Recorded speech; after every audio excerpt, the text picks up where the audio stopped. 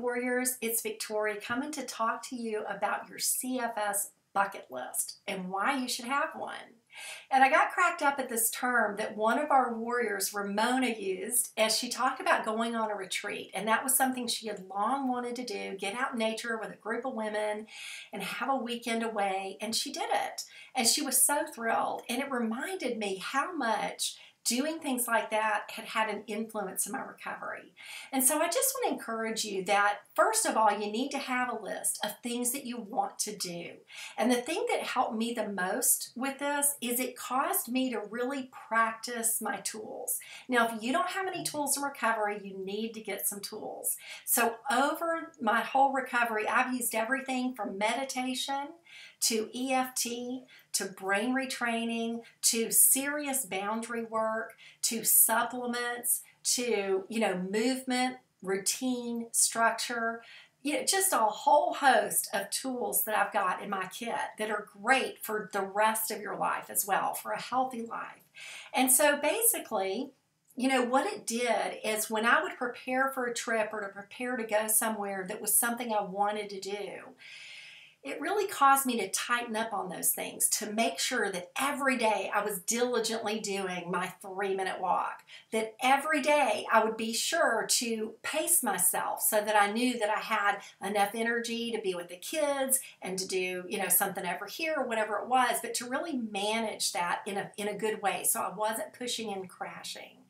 And it also kept me really, you know, strong with my brain retraining. I'll never forget when we went to England and like I had to go in and out of taxi cabs and up and down stairs, things that I had not done in years. And I had to really go to the mattresses, as they say, with the brain retraining after every event and before. So these are actually they're actually like they set you it's almost like the olympics. It's like you train for it then you go and do it. You see how you did you make adjustments and you set your course for your next adventure. At least that's what i did. And i know that might sound a little bit outlandish for some of you if you're bedbound but you can start with i want to go sit outside on the deck once a week and then you can practice breathing techniques in bed. You can watch your, uh, you know, if you have any health programs that you're doing online, so that you can actually begin to build that muscle so that you can get out once a week. Or if it's a park down the street, that might be your next adventure after you're able to easily manage getting out on the deck. So you can see that this kind of thing can take you all the way through recovery. And it did for me.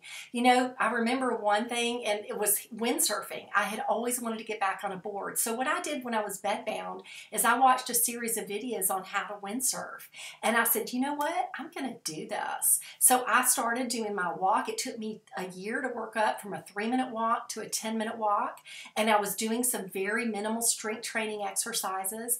But you know what? It was amazing that I I was able to get on that board when we left and we went on vacation and I was able to windsurf because of what I had learned. It was like I got up and went straight away. So I'm not saying that to brag. It's just that that was not something that in my normal days that I had the physical capacity for, but I'd built up enough strength and stamina without pushing and crashing to where I was able to do that as an event. Now, I haven't done it since, but you know, I've done a lot of other things. So it's in other words, you just pick something that will cause cause you to really get serious with your recovery, to get serious on whether it's nutrition or supplements or again, brain retraining, EFT, using those tools because you have to use them. It's almost like once you get yourself in that environment that's really uncomfortable and outside your comfort zone, you're forced to use them in a way. But if you've practiced them, you've got access to them. But you begin but you really lean hard on them when you're in those places, if that makes sense.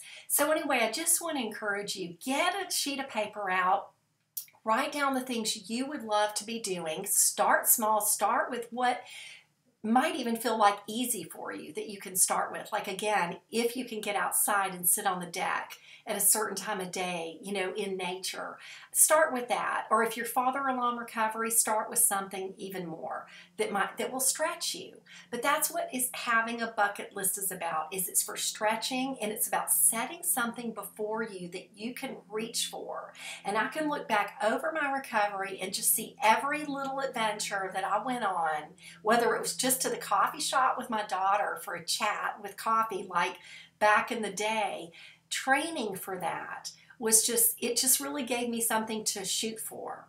So, anyway, warriors, I hope that helps. Remember, life's not over, it's starting again. And I speak life, health, and wholeness over you.